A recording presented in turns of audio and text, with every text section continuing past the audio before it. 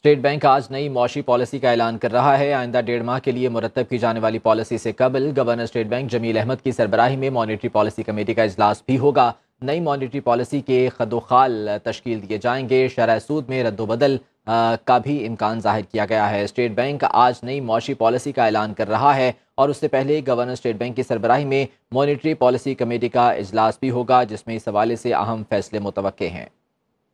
बाखबर रहिए हर जगह, हर वक्त, बर वक्त। अभी सोनो न्यूज़ का यूट्यूब चैनल सब्सक्राइब करें और बेल आइकन पर क्लिक करें। और जानिए, मुल्की और गैर मुल्की हालात वाकयात यकीन के साथ।